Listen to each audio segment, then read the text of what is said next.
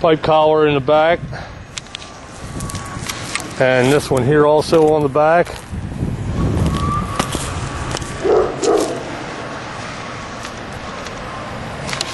Also, somebody did a repair job here around the louver vent, and there is bad plywood. There's a new roof needed here. Here's the bad plywood here. They went right over bad, excuse me, bad wood.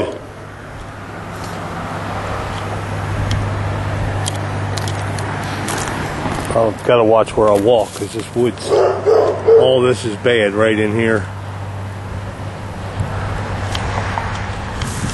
So I'm gonna measure the roof. It's a white 25 year.